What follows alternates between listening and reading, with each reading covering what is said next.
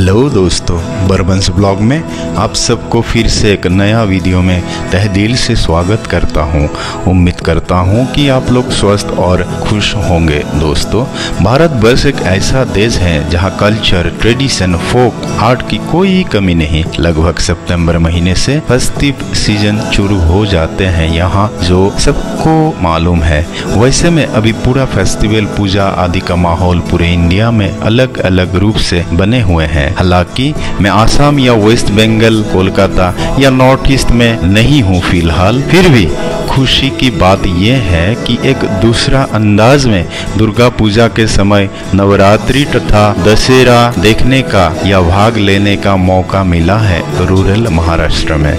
महाराष्ट्र में बेसिकली दुर्गा माँ का मूर्ति पूजा कम ही होते हैं, लेकिन ज़्यादातर घट पूजा से ही लोग बहुत ही सुंदर से नवरात्रि एवं दशहरा जो है सेलिब्रेट करते हैं। दोस्तों, आपको ये जानकर हैरानी होगी कि महाराष्ट्र में विश्वकर्मा पूजा के दिन गाड़ी का पूजा करने के सिवा दशहरा के दिन गाड़ी वाड़ी का वॉशिंग वगैरह करके उसका पूजा करते हैं। कुछ नियम हो भी सकता है जो कि मुझे पूरी तरह से जानकारी नहीं है। भाषणी यानी दशहरा के दिन हम लोग जैसे मूर्ति को विसर्जन करते हैं नदियों में, यहाँ गाड़ी मशीन आदि को साफ़ सफ़ाई करके पूजा करते हैं। अष्टमी से लेके नवरात्रि और दशहरा तक एक अलग ही माहौल क्रिएट हो जाते हैं, जहाँ कंपटीशन कल्चरल फ़ंक्शन आदि का इंतज़ाम करते हैं, जैसे कि गुजरात का गरबा दंडिया, मराठी फोक एक्टिंग और बहुत वैसे ट्रेडिशनल आर्ट के ऊपर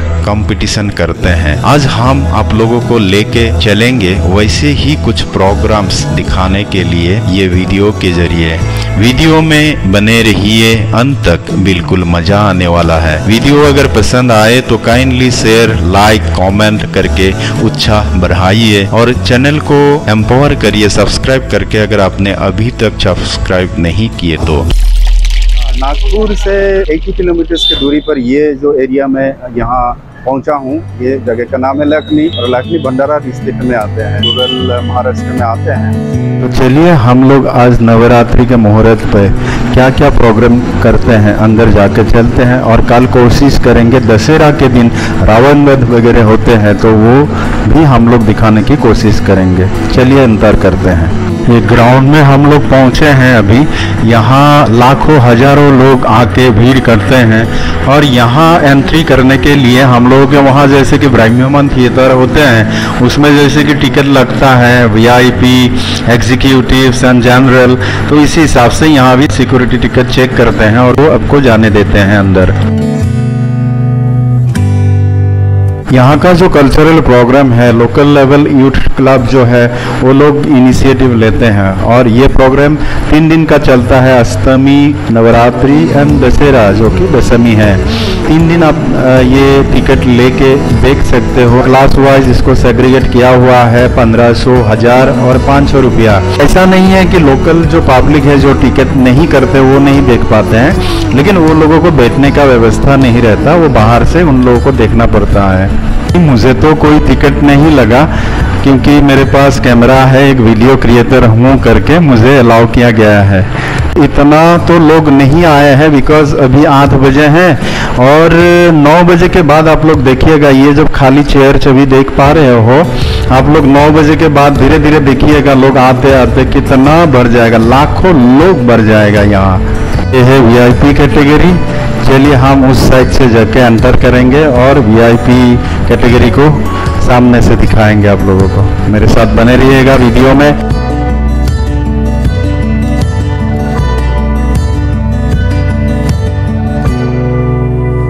देखिए, लोग धीरे धीरे आने लगे हैं, एक, दो एक, दो करके। ये एकदम पूरा फील बढ़ जाएगा।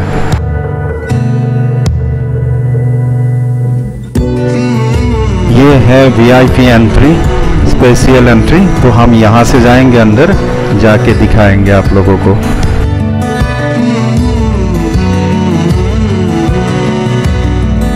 बहुत सारे आर्टिस्ट स्टूडेंट लोग आए हुए हैं यहाँ। एग्जिबिट करने के लिए प्रोग्राम करने के लिए तो वेरियस फोक कल्चर को एग्जिबिट करते हैं यहाँ।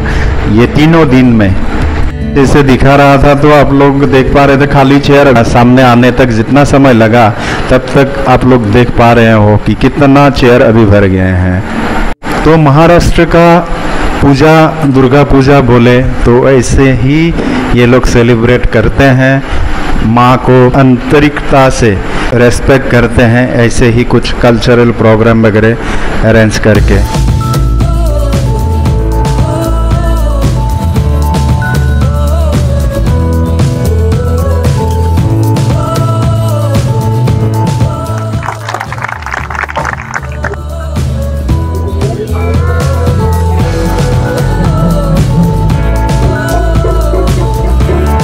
पहले बीच में टाटा बजाया था, अब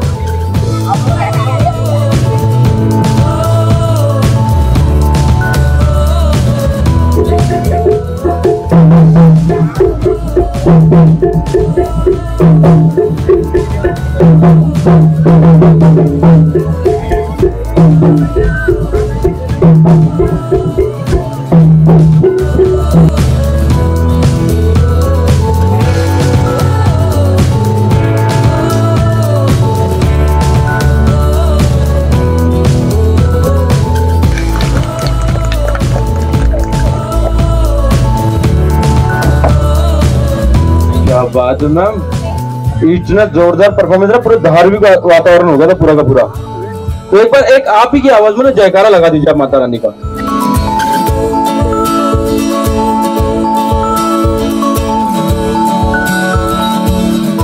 सच में मुझे बहुत ही अच्छा लगा।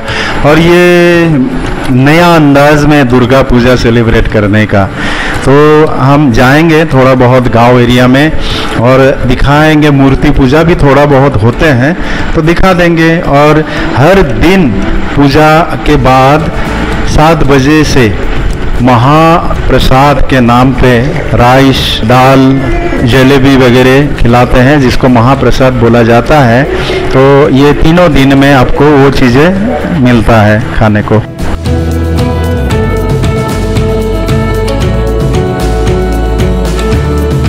तो चलिए फिर हम आज नवरात्रि, महानवरात्रि का जो भी प्रोग्राम है, यहाँ हम लोग देख लिए हैं। तो चलेंगे। बने रहिएगा वीडियो में मेरे साथ। आखिर तक आप लोगों को बिल्कुल मज़ा आ जाएगा। तो चलिए, दशहरा की तरफ़ हम एक साथ कदम आगे बढ़ाते हैं।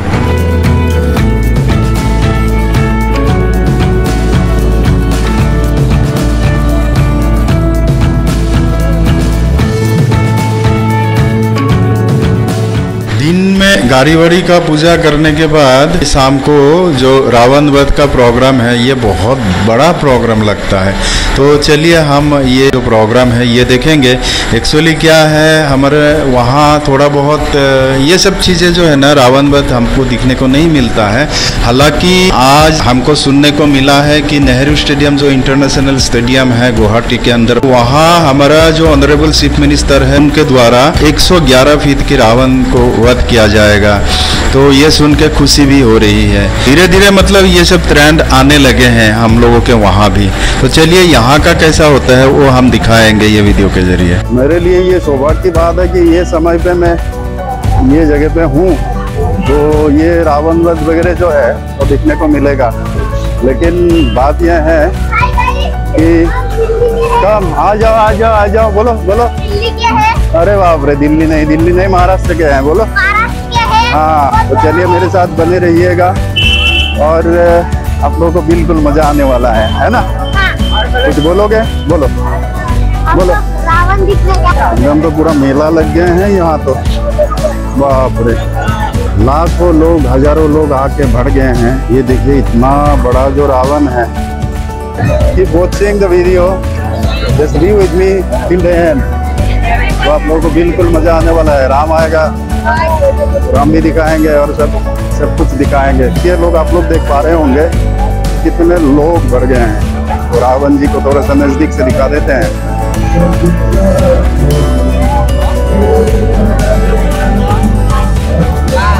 ये है रावण, है? एक्सक्यूज मी हेलो भैया। ये भैया रावण कितने फीट की है? ज़ोर से बोलो। अच्छा सिक्सटी ऊपर से बारिश आ रही है। ऊपर से बारिश भी आ रही है। आज मालूम नहीं ये प्रोग्राम कैसा हो पाएगा। बच्चे लोग भी यहाँ सज दस के आते हैं पूरा हनुमान बन के राम बन के रावण बन के श्री कृष्णा बन के। बजरंग बली। अरे बाप रे बाप रे कितना बजरंग बली आ गए हैं आज देखो। वेरी गुड ये देखिए पूरा क्या है ये?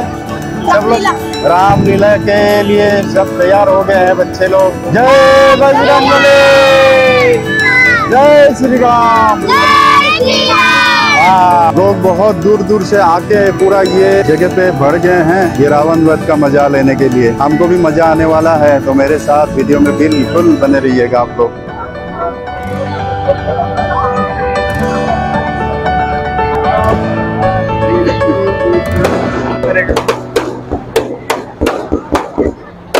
वाह वाह, ये होने वाला है। ये देखो, हनुमान जी पहाड़ तोड़ के आ रहे हैं। देखो, ये देखो ये देखो। महाभारत के लोग हिल दो तोड़ के, पहाड़ तोड़ के आ गए, हनुमान जी। राम जी, देखो जरा, राम। राम किधर है? ये कृष्णा है, कृष्णा।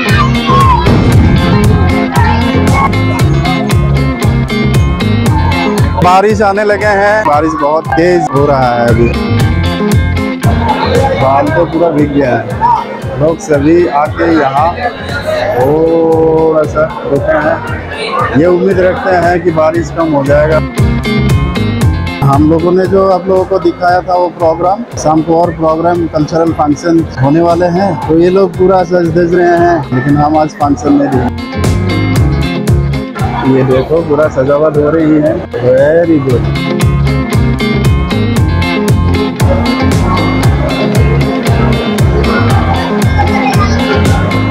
सभी सिक्योरिटी ऑफिसर्स भी यहाँ आकर बैठ गए हैं। बहुत तेज बारिश हो गया है, लेकिन।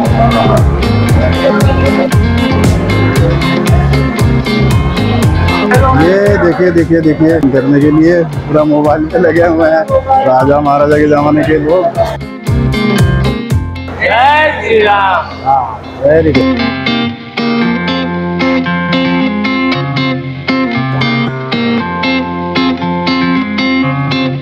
बारिश थोड़ा सा रुक गए हैं और उम्मीद लेके थोड़ा सा आए हैं कि हमको दिखने को मिलेगा। पूरा गीला हो गया, लेकिन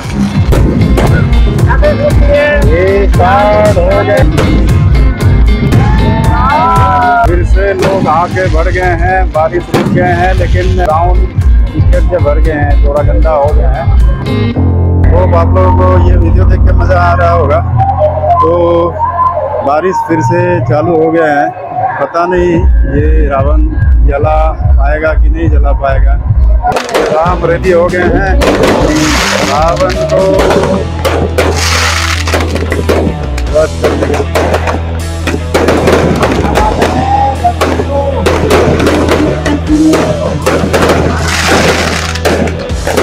काम भी निकल गए हैं आसमान साफ़ हो गए हैं। अभी बढ़िया हमको ये रावण को देखने को मिलेगा।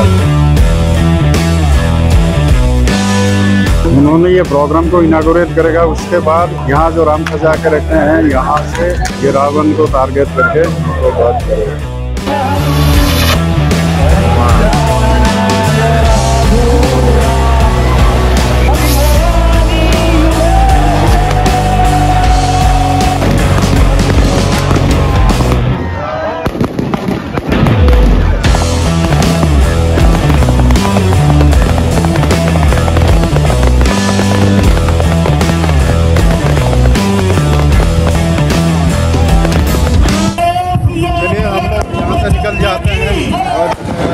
हो गया आज के लिए